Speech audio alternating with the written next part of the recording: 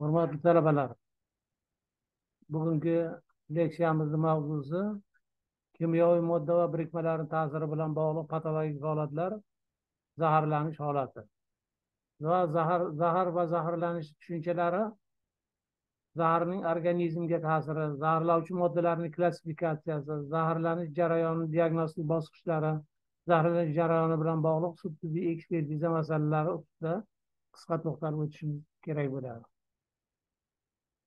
So'nggi davrdan boshlab ishlab chiqarishning turli sohalarida kundalik hayotda ilgaridan ma'lum yoki ilgari yangidan sintez qilingan kimyoviy modda birikmalarining keng qo'llanilishi turli zaharlanishlarni ko'payishi uchun moyillik yaratib kelmoqchi kelmoqda. Shart sharoitlarni yuzaga keltirmoqda. Hozirgi vaqtda dunyoni ko'pgina mamlakatlarida o'n millionga yaqin kimyoviy modda birikmalarini rasman ro'yxatdan o'tgan bo'lib shulardan yigirma besh mingdan ziyodi inson hayoti uchun xavfli moddalar qatoriga kiradi. Yuqorida qayd etilganlarni inobatga olib ko'pchilik tadqiqotchilar tomonidan dunyoni aksariyat mamlakatlarida toksik vaziyatning yuzaga kelganligini e'tirof qilinishi qilinyapti. Kimyoviy modda birikmalarining ta'siri bilan bog'liq patologiya quyidagi ko'rinishlarda kechishi mumkin. Birinchi anafilaksiya anafilaktik shok organizmda birlashgan yoki takroran kiritilgan kimyoviy modda birikmalari asosan ta'sirida organizmda sezuvchanlikning oshishi hisobiga ro'yobga chiqadigan funksional holat bo'lishi demakdir. Ikkinchi toksikomaniya bu narkotikli preparatlar guruhiga kirmaydigan kuchli ta'sir qiluvchi boshqa turlarga toksik moddalar asosan dorivor moddalar muntazam ravishda iste'mol qilish demakdir. Narkomaniya bu narkotik moddalar yoki narkotik preparatlarni doimiy ravishda iste'mol qilish oqibatida ruhiy va jismoniy moyillikning paydo bo'lishi ichki organlarning funksiyasini hamda ruhiy holatning buzilishi demakdir. Zaharlanish zaharlanish to'rtinchi bu zaharlanish organizm zaharlarni zaharli moddalarni kiritilishi natijasida organizm va to'qimalarni organik hamda funksional o'zgarishlarga olib kelishi demakdir.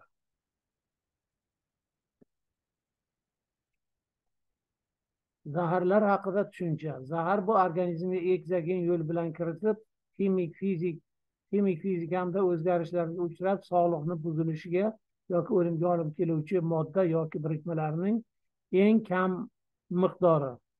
Zaharli moddalar va zaharlanishning kelib chiqishini o'rganuvchi fan toksikologiya deb ataladi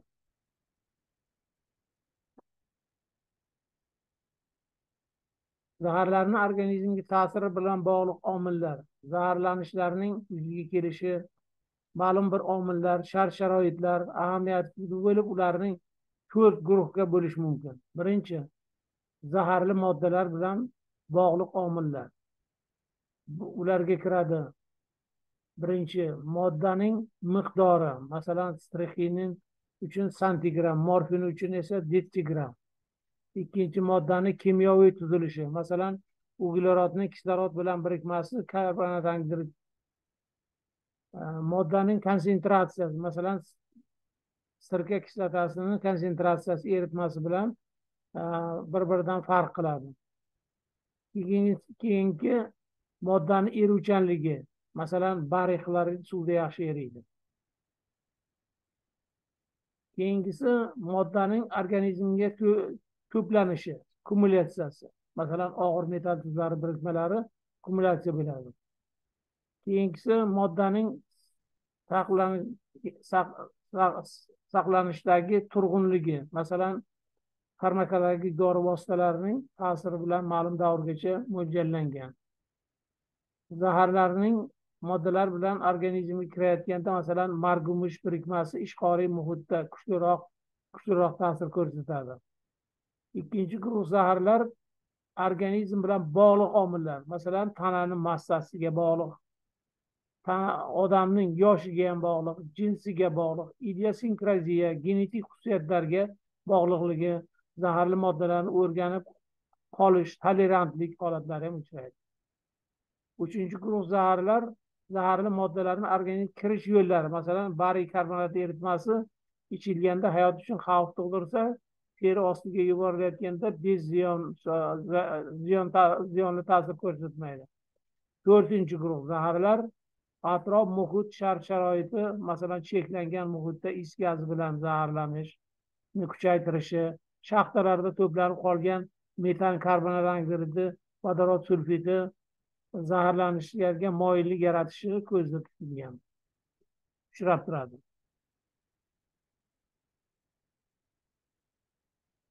Zaharlovchi moddalarning klassifikatsiyasi. Birinchi gruppa zaharlar bu uchuvchi zaharlar. Ularga nimalar kiradi? Mineral moddalar xlorid sulfat nitrat nitrat nitrat kislotalari kiradi. Ikkinchi gruppasi bu organik kislotalar sirka kislotasi fenol kislotasi uchinchi gruppa zaharlar ishqorlar kaliy natriy kalsiy gidroksidlar va to'rtinchi gruppa zaharlar.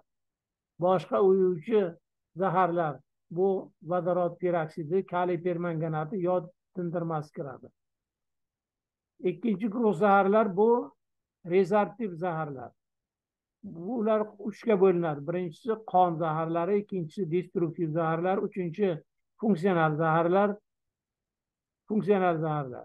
Endi rezervativ zaharlar qon zaharlariga nimalar kiradi? Gemopoetik ta'sir ta'sirli zaharlar ikkinchisi gemolitik ta'sirli zaharlar akanit durman zaharli qo'ziqorinlar uchinchi gruppasi gemoglobinotrop zaharlar anilin nitrin nitritlar is gazi bertoliy tuzi destruktiv zaharlar og'ir metall tuzlari miarsenol novarsenol suleyma fosfor birikmalari nitritlar kiradi.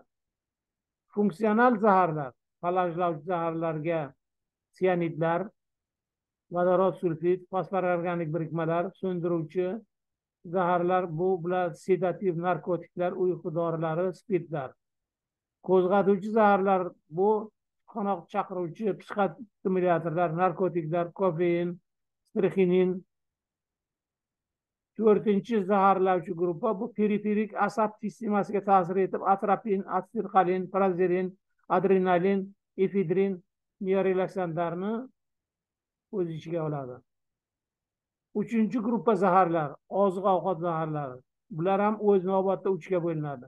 Bakterial zaharlar abakterial zaharlar ovqat mikotoksikozlari bakterial zaharlarga toksika infeksiya masalan salmonelloz intoksikatsiya masalan botulizm zahari abakterial zaharlarga hayvon ajralmalari va zaharlarni zaharlanishi masalan ichki sekretsiya bezlari o'simlik zaharlar shiralari ildizi bargi mevalari zaharlanishi kampir chapon akanit akanit ovqat mikrotoksikozlari masalan alimentar toksik alikimiyalar kirishi mumkin.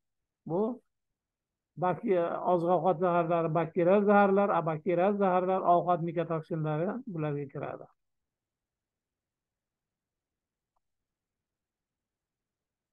Zaharlanishning diagnostik bosqichlari.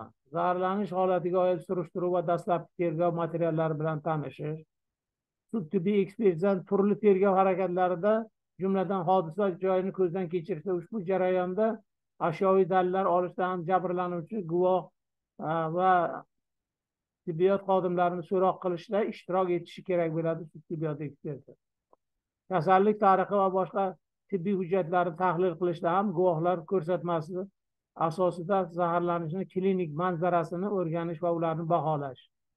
Murdani sud tibbiy ekspertizasi tekshiruvi o'lim sodir bo'lgan holatlarda yoki jabrlanuvchining sud tibbiy tekshiruvda bo'limda yuzaga kelmagan holatlarda qo'shimcha laboratoriya tekshiruvlari jumladan murdadan olingan to'qima va suyuqliklarning qusuq mahsulotlarining me'da ichida yuvilmasi ajratilgan suyuqlik va zaharlarni modda qoldiqlarining sut kimyoviy bakteriologik bioximik biologik va boshqa tekshirishlar. Bu zaharlanishning diagnostikasidagi eng muhim ma'lumotlar. Zaharlanishning klinik bosqichlari. Zaharlanish jarayoni klinik manzaralari e, ko'pincha quyidagi bosqichlarda ro'yobga chiqadi. Birinchi yashirin bosqichi bu bosqichda zaharlanishga xos hech qanday klinik belgilar yuzaga kelmaydi. Masalan kampir chamondan zaharlanishni yashirin davri o'n oltmish sutkagacha botulizm bilan zaharlanganda o'n sutkagacha bo'lishi mumkin. Prodormal bosqich zaharlanishni notipik belgilariga belgilari chiqishi mumkin. Masalan struchka zamburug' bilan zaharlanganda bir to'rt soatdan keyin ko'ngil aynish qusish chanqash qorinda og'riq bosh og'rig'i ko'z qorachig'ini kengayish kabi belgilar kuzatiladi. Klinik manzarasi rivojlanish bosqichlari tipik belgilar yuzaga chiqishi. Masalan akanit o'simligidan zaharlanganda tanada cho'moli yurganday bo'lishi botulizm bilan zaharlanganda esa tuman setkasini hosil bo'lish holatlarini ko'rishimiz mumkin. Klinik manzara to'liq rivojlangan bosqichi har xil bo'lishi mumkin.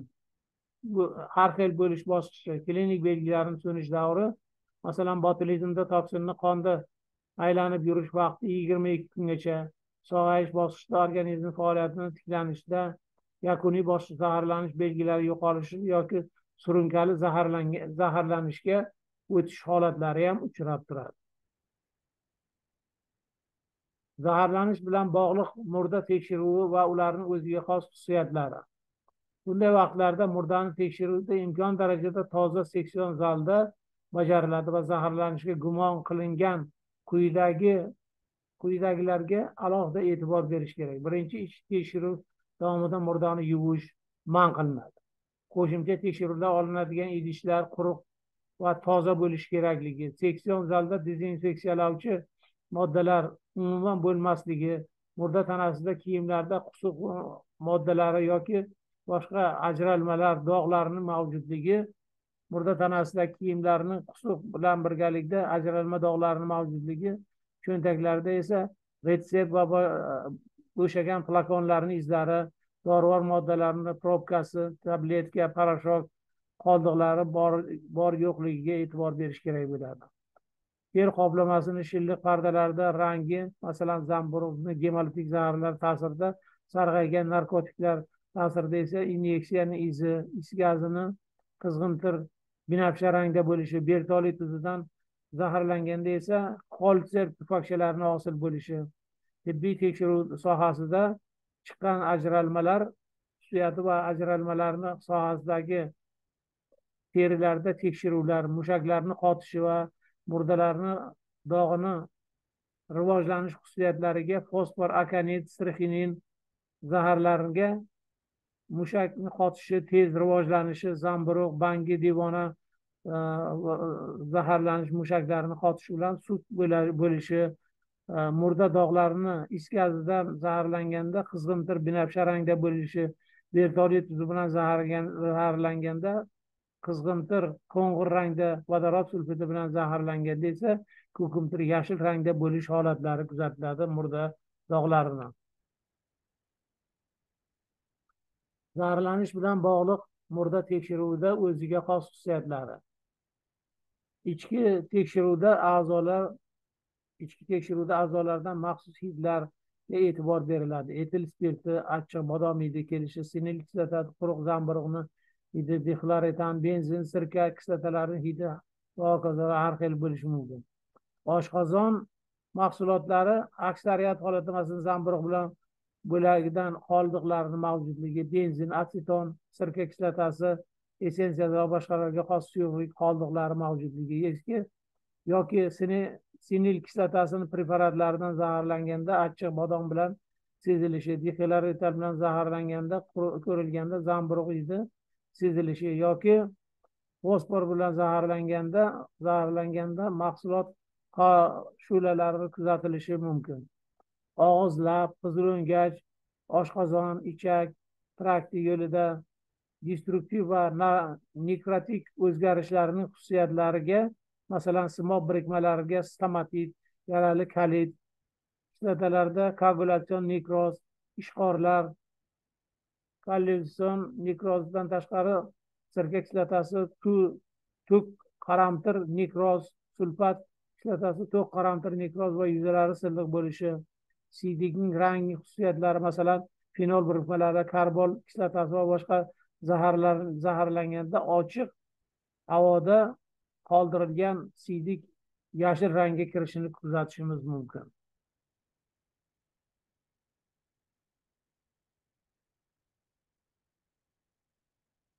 Zaharlanishda sud tibbiy ekspertizasida qo'llaniladigan qo'shimcha tekshiruvlar.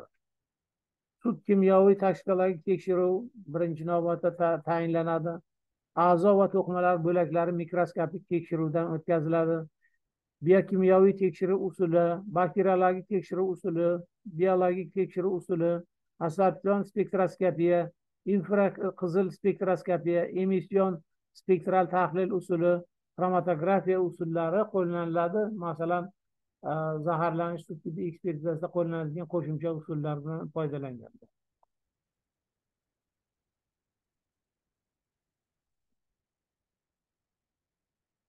sud kimyoviy e, kimyoviy kimyo toksikologik tekshiruvlar sud kimyoviy tekshirish uchun murdani ichki a'zolari oshqozon suyuqligi bilan ingichka ichak va yo'g'on ichakdagi o'zgargan holatda bir metrdan jigar parenximasi bir uchdan bir qismi o't xaltasi bilan birgalikda yoki e, e, birdan yarim qismi haligi qoni bilan birgalikda o'pkani to'rtdan bir qismi vitseral plevra bilan o't xaltasi bilan birgalikda bitta buyrak bosh miya biologik suyuqliklar qon va siydik oshqozon yuvindisi suvi qusuq massasi olinadi murdani murdadan olingan materiallardan tashqari kimyoviy sud kimyoviy tekshirish uchun oziq ovqat mahsulotlarini qoldiqlari ichimliklar o'simlik qismlari dori moddalari e, pestitsidlar derotatsiya va turli xil moddalar ishlatilgan kimyoviy moddalar idishlar buyumlar suv tuproq va ham kiritiladi. Sud kimyoviy tekshiruv tekshirishlarning asosiy vazifasi biologik obyektlarda murdani ichki organlarda biologik suyuqliklarda oziq ovqat mahsulotlari ichimliklardan va boshqa zaharlardan zaharlarni yo kuchli ta'sir qiluvchi moddalarni bilan ba'zan tez o'zgaruvchan kimyoviy birikmalarni organizmda o'zgartirishga uchragan metabolitlarni ajratib olishdan iboratdir. Biologik obyektlarga ajratilgan zaharli moddalar keyinchalik tozalanib sifat va miqdor jihatdan tahlil qilinadi. Ikkinchi biokimyoviy tekshirish usuli. Bu usul ko'pincha zaharli moddalarni organizmga ferment sistemalarini tanlab ta'sir ko'rsatishga aniqlab masalan fosfororganik birikmalar zaharlarga diagnoz qo'yishga asoslangan. Bakteriologik tekshiruvlar masalan haligi murdani ochib undan material qon o'n millilitr probirkaga o'tfagi bu o't tufagi suyuqligi bilan ingichka ichak uchta joydan o'n santimetrdan har ikkala uchidan zaharlarni haligi diagnostik ahamiyatga ega bo'lgan tekshiruvlarning asosiy usuli hisoblanadi. To'rtinchi biologik usul hayvon o'simliklar va ustidan o'tkazilgan tajriba bakteriyalarning toksinlari bilan birgalikda ovqatdan zaharlangan toksik infeksiya botulizm o'rganish o'rganish jarayonida mumkin bo'lgan masalan ichki organlarga kimyoviy tahlil qilish uchun ajratib olingan yoki voqea ro'y bergan joydan topilgan moddalar laboratoriya hayvonlari sichqon kalamush baqa mushuk mushuklarga yuborib ularni zaharli xususiyatlarini aniqlash imkoniyatini beradi.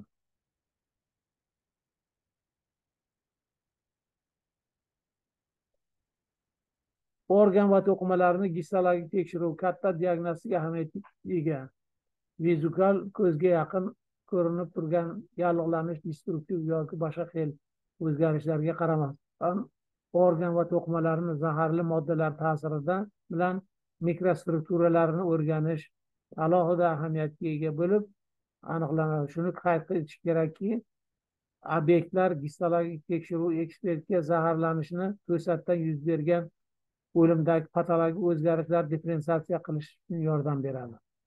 Absorpsion spektroskopiya ko'pincha qon zaharlari ta'sirida gemoglobinda o'zgarishlarni aniqlash uchun qo'llaniladi. Bu usul ekspertizada uglerod oksidi bilan suyuqliklarni tekshirishga maqsadga muvofiqligi aniqlangan. Infraqizil spektroskopiya sud tibbiyot ekspertizasida barbituratlar bilan zaharlanganda zaharlanishni aniqlashga natija beradi. Emission spektral tahlil davriy sistemani haligi kimyoviy elementlarni spektrini o'rganishda asoslangan kimyoviy moddalar bu xususiyatlarga odam organizmida bo'lmaydigan noorganik moddalar sifat va miqdor jihatdan aniqlanib zaharlarni tashxis qo'yishga muhim ahamiyat kasb etadi. Xromatografiya usuli suyuq xromatografiya usuli bir necha xil bo'ladi. Suyuqli suyuqli gaz yupqa qavatli ko'pgina moddalar masalan noorganik birikmalar dori moddalari etanol va uning o'rniga ishlatiladigan turli xil texnik suyuqliklarni aniqlashda ishlatiladi. Va o'ninchi kalorimetriyada kalorimetriya usuli osonroq tekshirish usuli bo'lib zaharlanish ekspertizasida ham diagnostikada ham to'g'ri fikr yuritib ish tutishga to'g'ri keladi. Laboratoriya tekshiruv natijalarini to'g'ri baholash. Laboratoriya tekshiruvi ijobiy bo'lsa jabrlangan shaxsni dori preparatida iste'mol qilgan qilmaganligi ayrim taomlar bilan masalan iste'mol qilgan yoki murdadan biomaterial ifloslanishga olib kelingan olinganligi inkor qilish lozim. Laboratoriya tekshiruvi salbiy bo'lsa bu holat zaharning organizmga o'ta kam miqdorda kirganligi yoki zaharlovchi moddani organizmda to'liq chiqib ketishini zaharlovchi moddani topish uchun zaruriy to'qima olinmay qolishi yoki zaharlovchi moddani topish uchun zaruriy kimyoviy tekshiruv usullarini ishlatib ishlab chiqilmaganligi bilan bog'liq bo'lishi mumkinligi inobatga olinishi lozim. Hurmatli talabalar e'tiborlaringiz uchun rahmat. Leksiyamiz poyoniga yetdi.